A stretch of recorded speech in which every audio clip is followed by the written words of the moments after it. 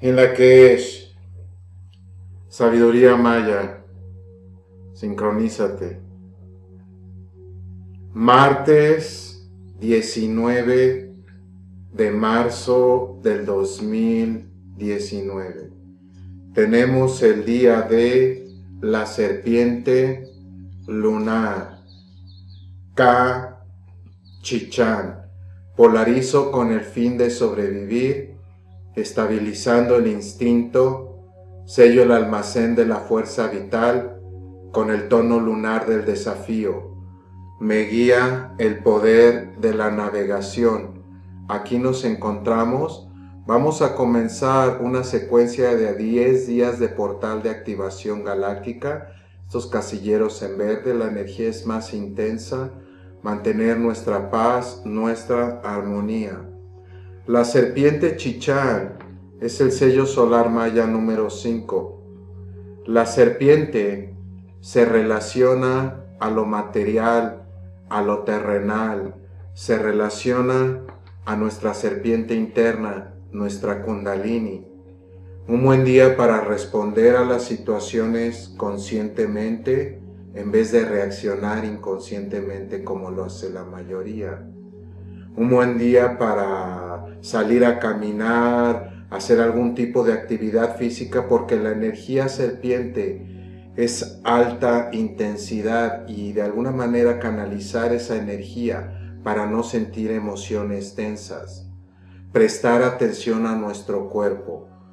Es a través del cuerpo físico que alcanzamos mayores niveles de conciencia. Y cuando el cuerpo nos habla, nos avisa, cuando algo no está yendo muy bien, prestar atención. La serpiente también nos recuerda que no confundir sexo con amor, porque la mayoría de las personas nos condicionan, ¿verdad? Que, que básicamente el sexo es el amor y realmente el verdadero, la verdadera intimidad es compartir con alguien nuestro sentir sin miedo a que nos juzguen. El tono número dos que le acompaña, numerología maya, los dos puntos lunar, en esta onda encantada que acabamos de iniciar de la semilla, es el desafío. Con el tono 2 identificamos los desafíos para alcanzar el propósito de la semilla, ser consciente, romper las cáscaras que nos limitan, sembrar la semilla de alguna intención, de algún proyecto, y lo hacemos con la serpiente, prestando atención a nuestro cuerpo físico, canalizando nuestra energía, elevando nuestra kundalini. la serpiente, excelente día para meditar. El tono 2 nos invita a prestar atención a la dualidad, a los desafíos, especialmente nuestra dualidad. Somos duales. Tenemos un aspecto de luz y un aspecto de sombra, pero nos enseñan que las sombras, esas emociones densas que todos poseemos, ira, resentimiento, venganza, celos, emociones densas, a, reprimirlas y aquello que reprimimos nos somete.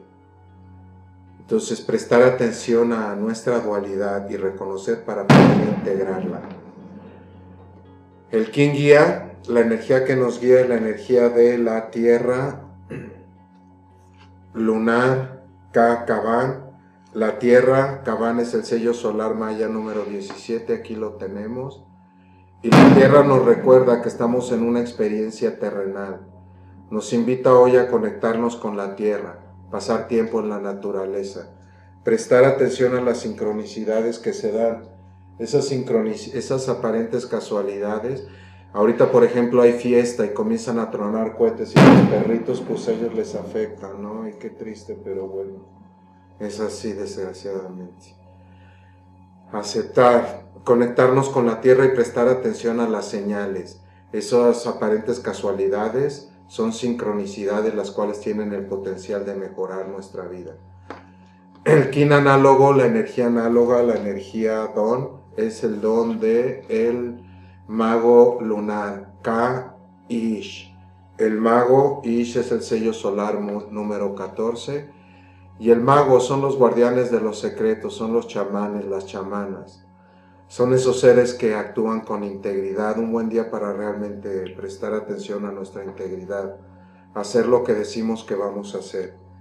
Vivir el momento presente, el mago es atemporal y el único momento es el aquí y ahora. Pensar con exceso en el pasado es igual a depresión, nos deprimimos. En el futuro nos estresamos, preocupamos, el aquí y ahora. Practicar arte nos ayuda a estar en un estado creativo, estar en el momento presente. El poder oculto del día es el poder de el guerrero cristal, la casi. El guerrero, sí, ves el sello solar maya número 16, aquí lo tenemos. El guerrero Sim nos recuerda que la mayor batalla que vamos a enfrentar con nosotros no es afuera, es adentro. Es trascender el ego, esa personalidad que la mente crea con la cual nos identificamos y sentimos ser. El guerrero nos invita a ser valientes. Un buen día para realmente como poder enfrentar los miedos. Si se enfrenta alguno de los miedos, en vez de evitarlos, enfrentarlos. Cuando los enfrentamos, los miedos desaparecen. Y el tono 2 es la cooperación. También con el guerrero, ser pacientes, evitar ser tan aguerridos, ¿verdad? Y el tono 12 es el cristalizar, es la cooperación. Nos enseñan que es mejor competir en vez de cooperar. Cuando cooperamos todos nos beneficiamos. Entonces cooperar en armonía con los demás. Y bueno, el quinto antípoda es el reto del día, el desafío, y es el desafío del águila lunar, K-Men. El águila men es el sello solar maya número 15, aquí lo tenemos. El águila surca por las alturas y obtiene una visión más amplia de lo que ocurre.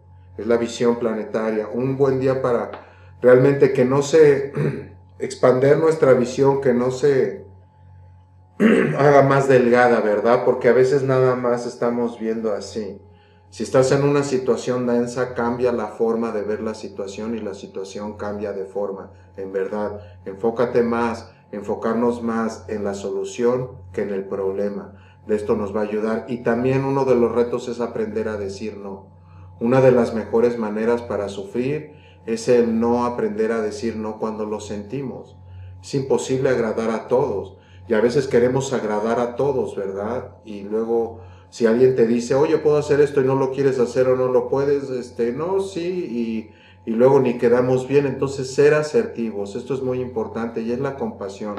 Un buen día para realmente ser más compasivos.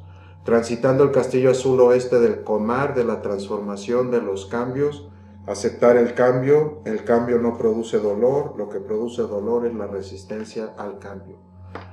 Y bueno, en el año de la luna cósmica, que es la purificación emocional, el perdonar, el vivir el momento presente y realmente sentir esas emociones, pero no consentirlas. Porque a menudo nos cuesta y nos volvemos, el resentimiento es resentir una emoción que nos dañó en el pasado. Y bueno, en el segundo peldaño de la onda encantada de la semilla, aquí la tenemos, aquí estamos. Y bueno, estos 13 días se nos invita realmente a ser conscientes de nuestro potencial, romper esas cáscaras. La vida es una oportunidad, nacemos como semillas y la vida es una oportunidad para romper esas cáscaras, germinar y llegar a ser lo que realmente somos.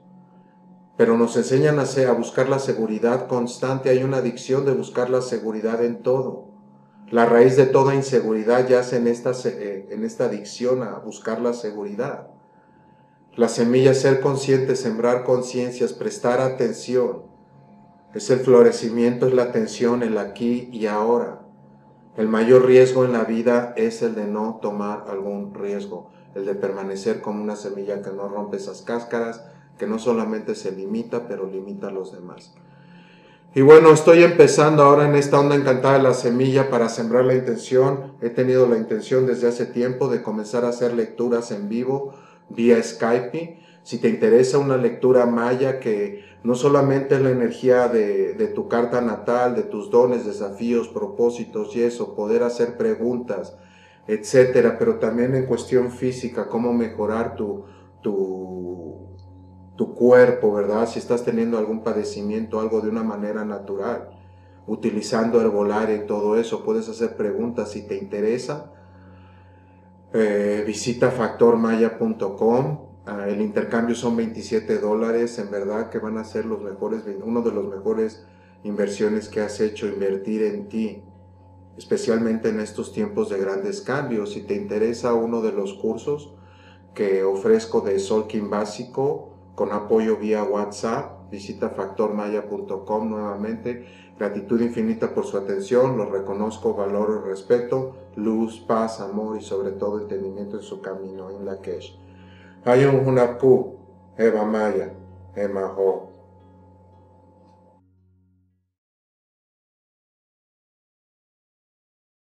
¿no? ¿Cómo, cómo sincroniza lo que es la, eh, con los familiares?